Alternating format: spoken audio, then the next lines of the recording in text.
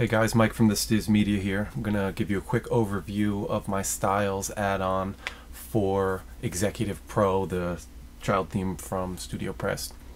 I have my demo theme set up here. I'm already logged in, so we're going to go back here, add new plugin. Um,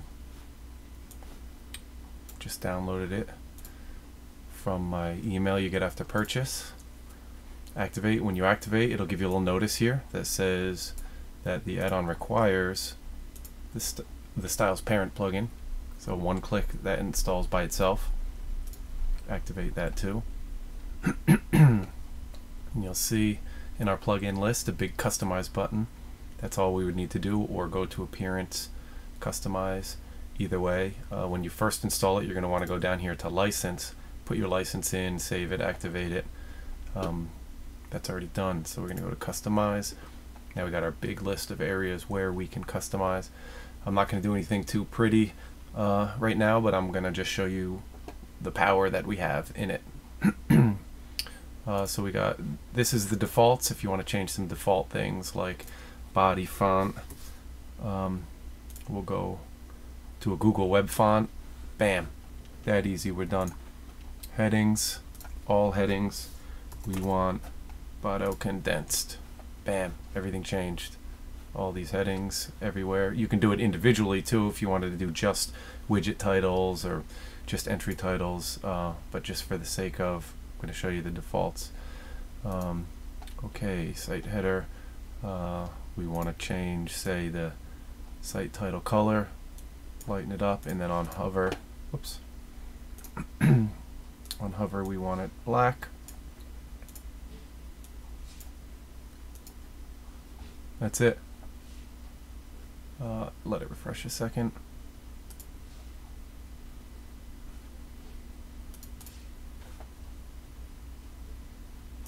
Let me save that. Check our changes. Refresh here. There it is.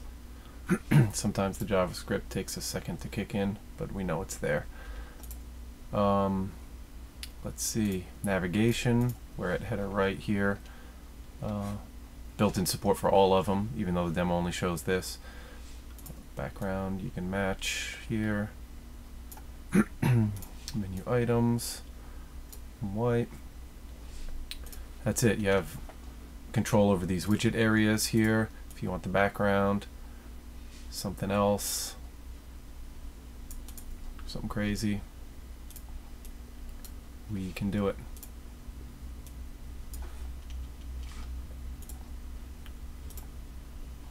middle is the call to action section.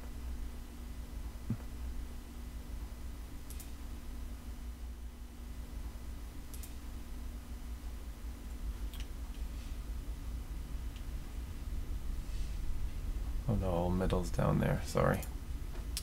Call to action is here. I was wondering why that wasn't changing. It's labeled right in front of me.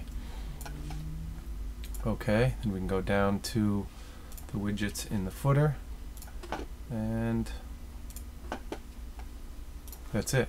So just to show you save it we got them here. That's just the front page now obviously. That's not great looking just showing you the possibilities you have. So let's go let's check out a post here. We'll do one of these.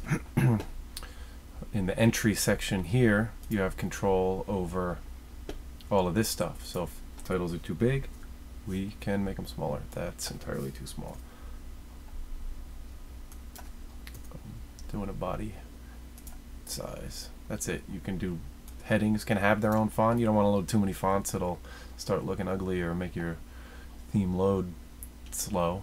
Um, but we change them globally, so we're good there. Um, let's see.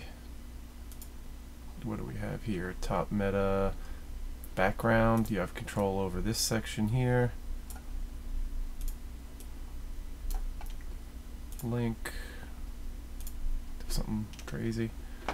Uh, let's see, comments. I mean, it's everything here. I didn't leave anything untouched that was possible. This is just going off the HTML meta, uh, markup that this theme has. Alright, you can go even down to comments. comments header, lighten that up. So you can really, I mean, you can do this fast. Whoops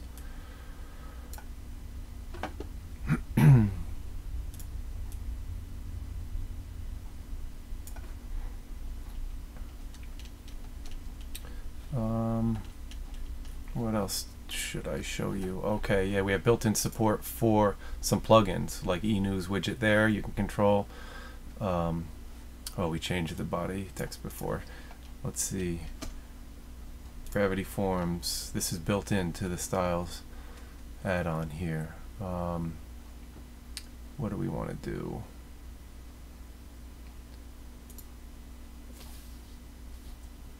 Text size, get back down.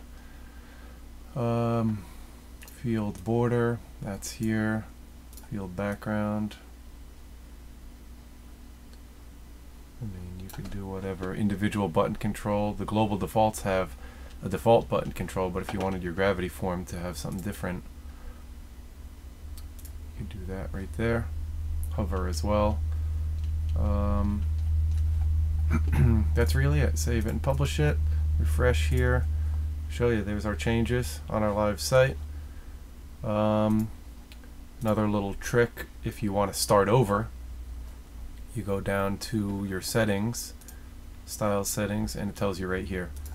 Type in reset save.